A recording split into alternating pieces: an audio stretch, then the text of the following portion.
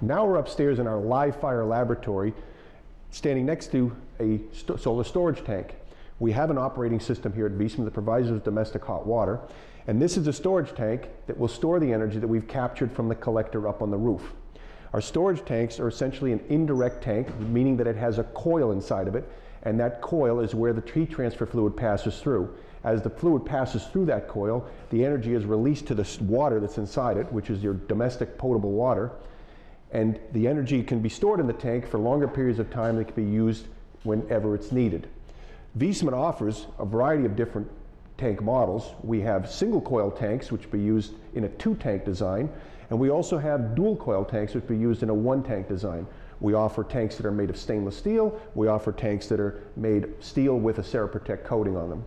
We have a variety of different sizes available, and storage tank does have to be selected and sized according to the quantity of collectors that you have on your roof. The next component that we're standing next to here is the pump station.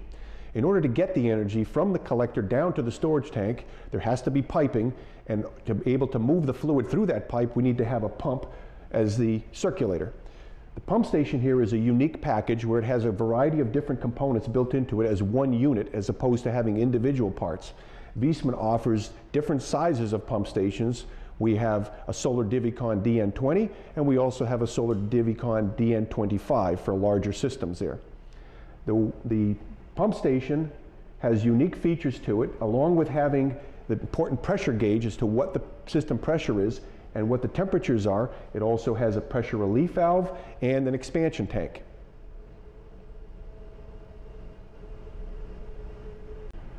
One thing to understand about a Viessmann Vitosol system is that they're indirect pressurized closed loops, meaning that the system has to be charged up with that heat transfer fluid that passes through the collector and passes through the coil of the tank.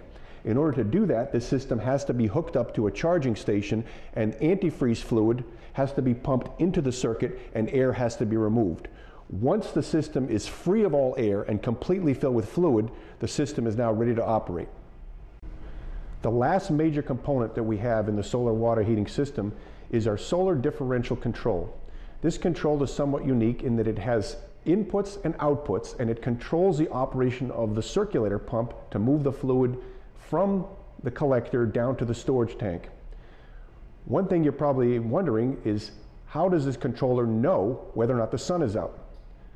And that's done by the accomplishment of two sensors, a sensor that's located up at the collector on the roof and also a sensor that's located at the storage tank. The differential between those two sensors is what dictates whether or not the controller turns the pump on or off. At night, the temperature differential between the two collectors is close and the pump is not operating. And during the day when the sun is out, the differential temperature between the two sensors is farther apart, which typically causes the pump to operate. This particular control here is a multi-load control sophisticated one that has a variety of different options on it. You'll notice on the screen here that there's a display showing the actual configuration of the, of the system and also displays the various temperatures of all the sensors in the circuit there. Above this, you'll notice that there is a data logger. This is a device that's hooked up to the controller to record on a daily basis or even an hourly basis the information as to how much energy has been produced.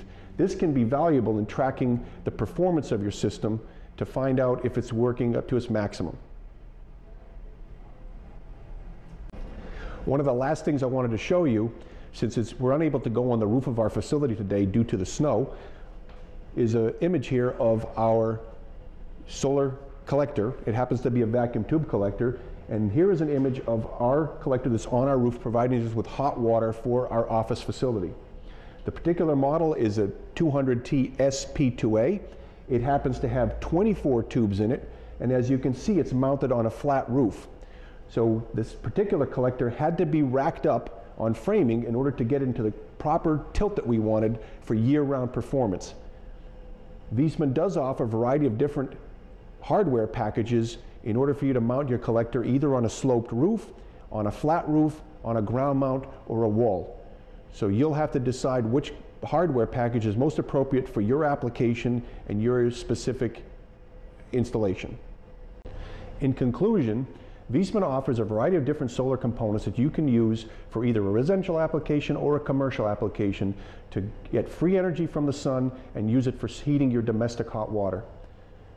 In future episodes, we're going to discuss in detail more of the components, how you design them for engineers and for contractors, and give you a better understanding of the specifics of the products that we offer.